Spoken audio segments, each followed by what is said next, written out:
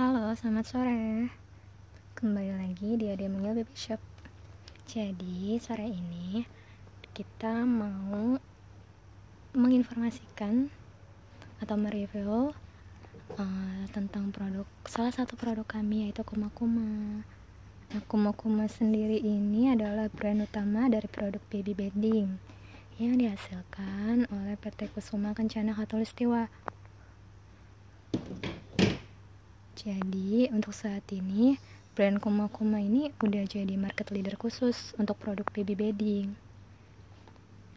Nah, untuk di video kali ini uh, hanya ada guling, kasur set, bantal, dan bedong. Untuk yang lainnya mungkin di video berikutnya ya karena uh, durasi nanti pasti akan panjang banget. Nah, langsung aja jadi untuk gulingnya kita menyediakan guling balita. Ini kita ready dua warna dengan motif flamingo. Ada blue dan yellow. Nah untuk bantalnya kita saat ini ready-nya untuk bantal peang aja balitanya udah kosong. Nah ini kita ada tiga warna. Ini versi grey-nya terus ada lagi cream dan blue. Nah krim dan blue itu stoknya udah udah terbatas banget. Cuma sisa dua atau satu gitu. Nah greynya ini masih ada empat. Ini bahannya enak sih empuk banget. Nah ada lagi. Ini kita nyebutnya sih kuma kuma newborn pillow and double bolster jadi ini tuh kayak untuk satu set gitu untuk yang baru lahir dia tuh isinya ada uh, dua guling. Nah gulingnya ini dia tuh nyambung nih kayak gini. Jadi nyatu jadi uh, gak bakal kegeser tuh babynya karena kalang sama dua gulingnya. Dan ada bantalnya juga. Gitu. Nah ini satunya tuh. Nyatunya di sini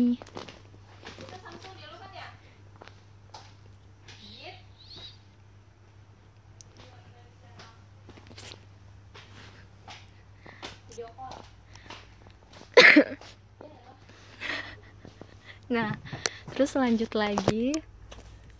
Kita ke kasur set. Kasur setnya ini ada tiga warna. Ini kita turunin dengan warna biru sama krem. Ada lagi grey. Uh, terus untuk isinya nih kita udah buka salah satunya. Jadi isinya ada dua bantal satu alas tidur alas cover dan dua guling lengkap banget kan? Jadi bisa dibeli.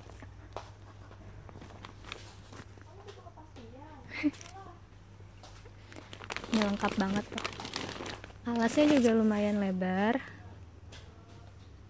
Tuh. Lebar ya. Jadi bisa nih kalau buat ke mana-mana pakai alasnya aja juga nggak apa-apa. Oke. Nah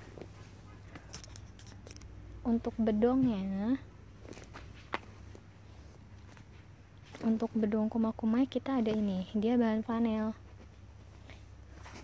Ada isi 4 ya dengan tiga, tiga varian warna. Ini kita ambil contoh double double white. Jadi putihnya ada dua sisanya biru sama kuning. Ukurannya 90 kali 110 cm bisa dijadiin bedong atau alas. Atau anduk juga bisa. Begitu. Nah. Untuk kuma-kumanya sekian dulu sampai sini. Nanti dilanjut lagi. Oke terima kasih